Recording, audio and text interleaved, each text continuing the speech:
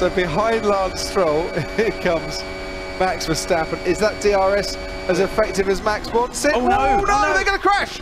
And they have! But it's opposite day.